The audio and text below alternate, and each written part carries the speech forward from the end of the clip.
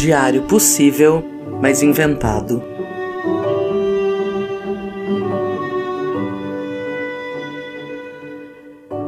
Data: todas as noites desde que eu me tenho por gente.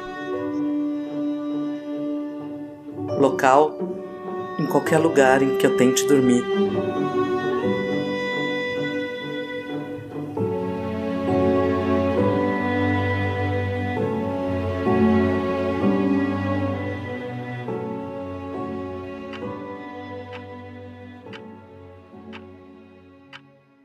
São 3h25 da madrugada e eu tô até agora tentando dormir.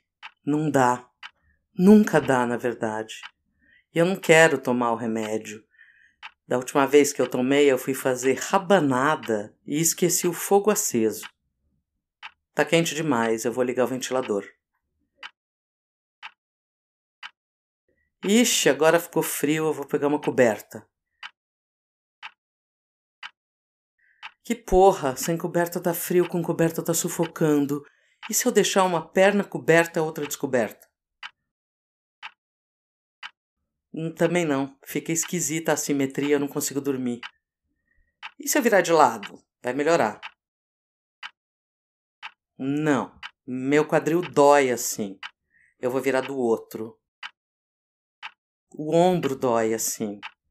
Ok, de bruços então. A minha cara fica amassada. Deve ser o travesseiro. Vou trocar. Esse aqui tá alto demais. Cadê aquele mais velhinho? Pronto. Não, agora tá baixo demais.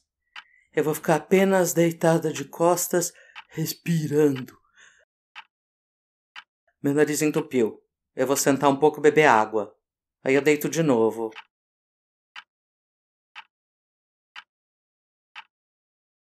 Faltam apenas duas horas para o despertador tocar e eu vou ter que pegar a estrada com sono. Que merda! Dorme, dorme, dorme. Amanhã, no meio da manhã, você vai estar arrependida desse tempo aqui testando o travesseiro. Parece que a minha pele tá fininha e eu tô sentindo o contato do ar que vem do ventilador como se fosse um açoite. O lençol também tá pesando. Tá dando uma aflição, como se fossem minúsculas unhas passando pelas minhas costas. E se eu tomar um Dorflex? O meu coração tá batendo mais forte que o normal. Não é acelerado, é mais intenso, sabe? E se eu estiver tendo um ataque cardíaco?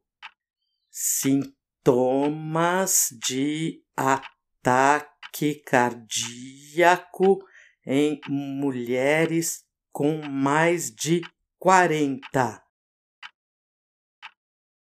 Não, não é. A minha nuca tá suada. Será que pode ser diabetes? Sintomas de diabetes. Não, não é também. Sabe o que é isso?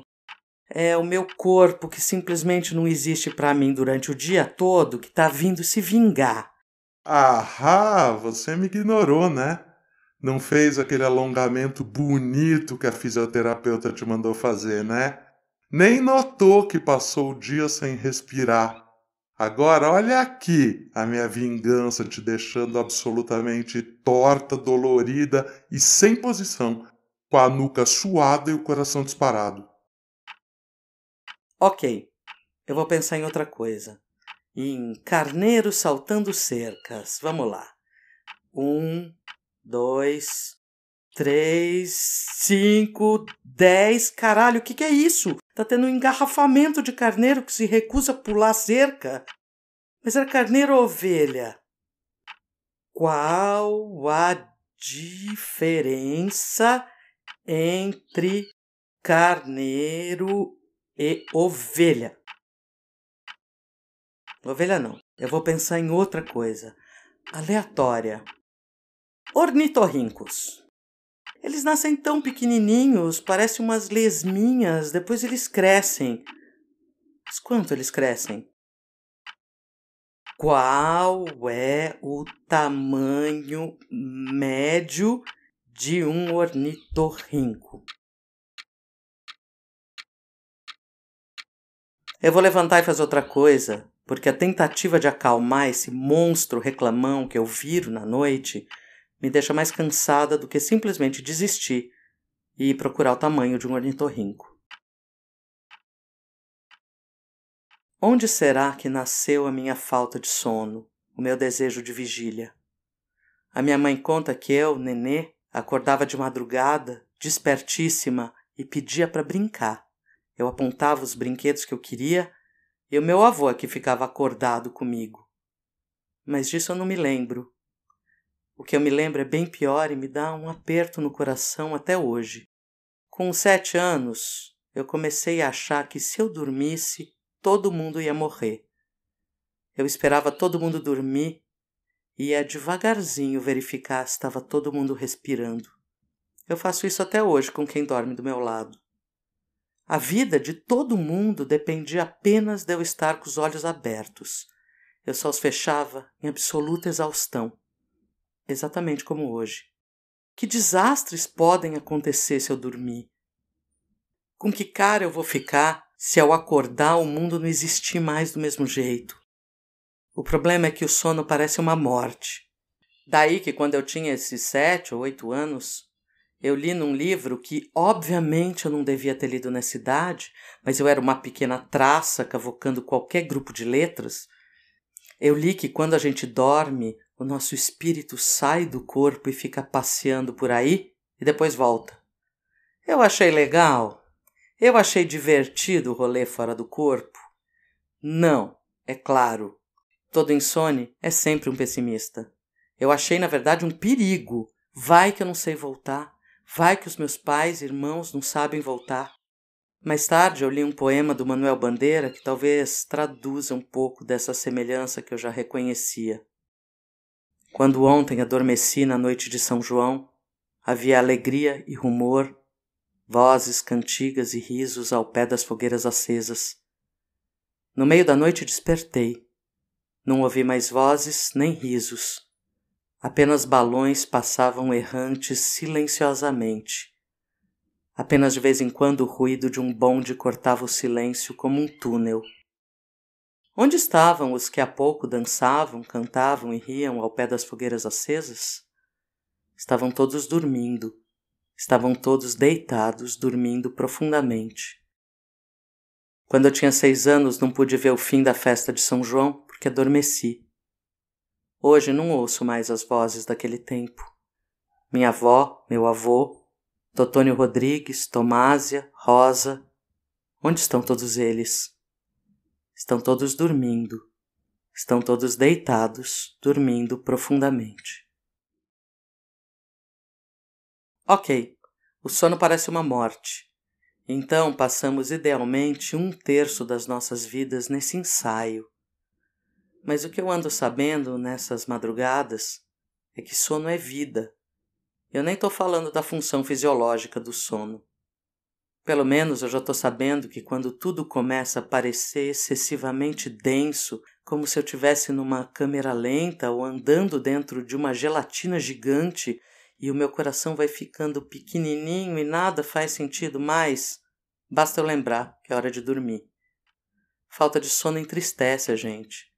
Alegria exige descanso. A vida tá aí, mas é preciso saber parar. Eu volto para a cama e me lembro que uma amiga disse: Duvido que se você tivesse um filho e ele não quisesse dormir, que você mandaria ele brincar ou correr. Por que, que você faz isso com você então? já que sabe que o sono importa. Eu fiquei pensando na minha amiga e no filho dela durante um tempo. Ouvi um barulho na porta, abrindo devagar.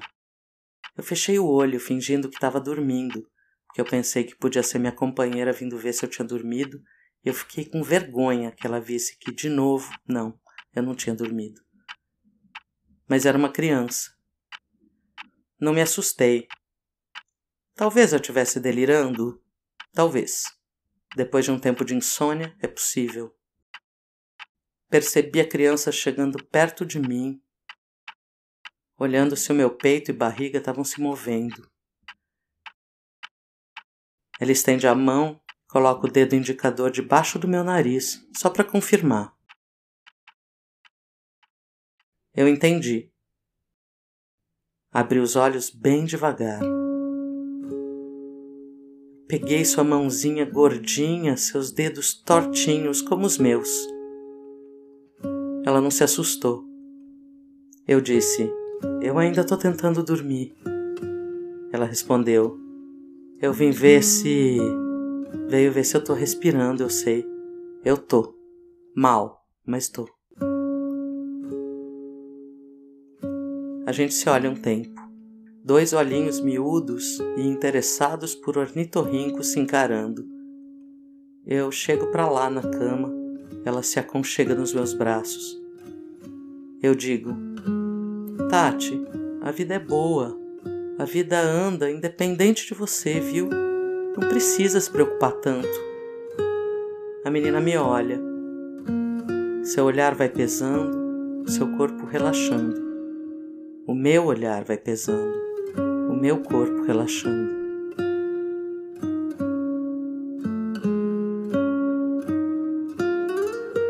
Boa noite, Tatizinha.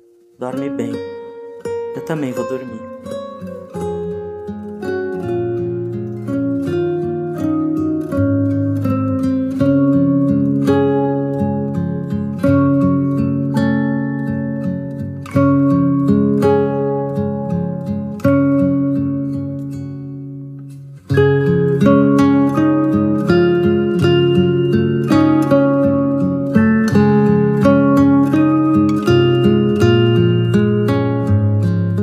Possível, mas inventado, é exatamente o que o nome diz. Um diário que seria possível, mas é inventado. Escrita a quatro mãos pela Ana Rocha e pela Tati Fadel, com a produção de O Mundo Segundo Ana Rocha. A edição e a direção geral é da Ana. As artes são da Cláudia Intátilo. O apoio operacional é da Simone Silva. Se você gostou, segue a gente no seu agregador de podcast preferido. Os posts são quase diários com trocadilhos. O nosso Instagram e o nosso Twitter é Diário Possível.